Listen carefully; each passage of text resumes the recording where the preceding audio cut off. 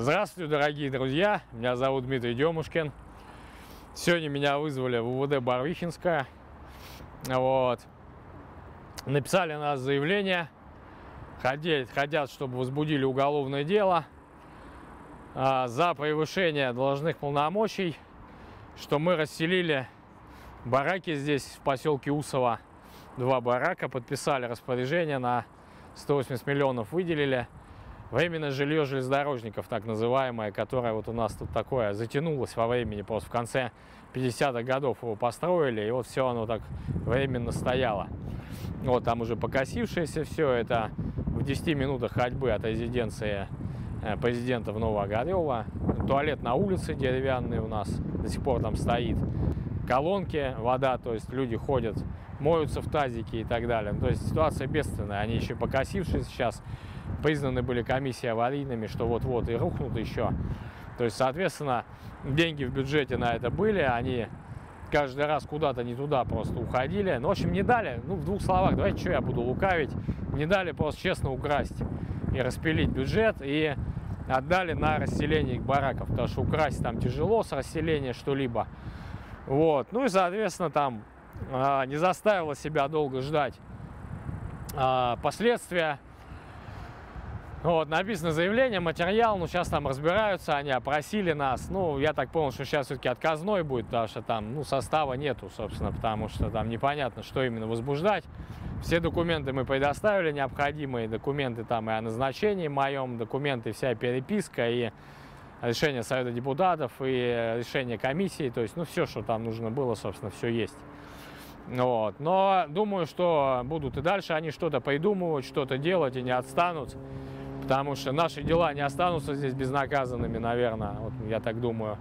Вот, ну, дай бог, дай бог, вот, что это самое, сможем мы отбиться, ну, вот сегодня были. Сейчас, наверное, более подробно здесь, вот, депутат вот, городского округа Одинцова у нас, Теняев Сергей Александрович расскажет по этому поводу, он здесь дольше сидит и а, более в этой теме погружен, он у нас исполнял обязанности главы как раз здесь сельского поселения Барвихи. Вот, уволил а, на совете того самого Потопчука, который там забаррикадировался и сидел у нас в администрации, незаконно захватив ее. Ну, ладно, это уже там отступление. Вот, сейчас вопрос у нас по людям. Все, что мы хотели здесь по людям, собственно, сделать, мы понимали, что они нас едят и съели в итоге, потому что они не могли с нами ничего сделать, так они упразднили саму администрацию. То есть это такой, конечно, уникальный случай, когда не в силах там сделать что-то с людьми, они ликвидировали саму администрацию Барвихинскую, объединив ее с городским а, округом Одинцовским. Там у них еще большинство, там все крупно, еще они имеют там возможность как бы делать большинство Единой России, и, соответственно, там мы ничего уже не сможем сделать. Но и ничего не смогут сделать эти люди. А все деньги, которые выделяются, на всех уровнях пилятся, растаскиваются и пускаются на какие-то непонятные цели. Если там из рубля, я говорю, там доходит какие-нибудь, там, не знаю, там, я вот говорю 10 копеек, а я не знаю, 10 копеек там идет или нет на самом деле до конца. Потому что на всех уровнях эта система так создана, что а, они это втюхивают, как у, у, что они вертикаль власти якобы укрепляют. Но на самом деле они, наоборот, как термиты, выедают страну изнутри. Когда люди озлобляются, здесь вот по выборам, я говорю, Единая Россия 6% набрала. Вы можете себе представить, что должен сделать руководитель здесь, чтобы партия власти набрала 6% э, в Барвихе, да, здесь вообще вот ты ничего не делай, за тебя и то, наверное, половина бы проголосовала. То есть это надо было делать что-то такое, чтобы люди тебя ненавидели просто. Это сейчас везде происходит, и пусть они там укрупняются, хоть до бесконечности, но ненависть от людей, которые здесь вот представителям партии власти, она только будет увеличиться. Я считаю, что этот путь, наоборот, тупиковый, им туда идти не следовало. Что они, забирая всю власть на всех уровнях, они забирают всю ответственность за все происходящее. А происходящего здесь, и не только здесь, а вообще по России, ой, как много. Так что сейчас передам слово, вот, депутат выскажется и расскажет там по документам и по всей этой обстановке более уже подробно. Спасибо. Здравствуйте, я Тинеев Сергей Александрович.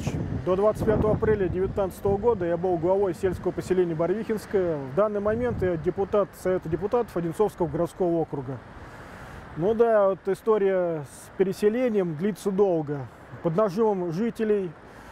Все-таки были в 17-18 году были собраны комиссии, они дали заключение, что есть основания признать дома аварийными. В конце года был подготовлен проект бюджета, там было заложено 180 миллионов для расселения, но предыдущий руководитель администрации, э, Потапчук, такой ставленник от Единой России, от района, он не выпускал постановление о признании домов аварийными. Без этого мы не могли выделять деньги. Ну, в конечном итоге мы просто в апреле 2019 года, а именно 20 апреля, Потапчука уволили решением Совета. И назначили нового руководителя администрации Демушкина Дмитрия Николаевича. Вот после этого он сразу же тоже съездил на место, посмотрел эти дома, и в мае было выпущено распоряжение, два распоряжения о признании домов аварийными. Соответственно, после этого мы эти распоряжения направили в Совет депутатов Одинцовского городского округа с просьбой рассмотреть и принять бюджет сельского поселения Барвихинского. Вот. И 28 июня э, решение о бюджете было принято, то, что деньги выделены, и э, как бы процесс расселения начался. Вот. Ну, это просто что касается документов и всей истории этого вопроса, так вкратце.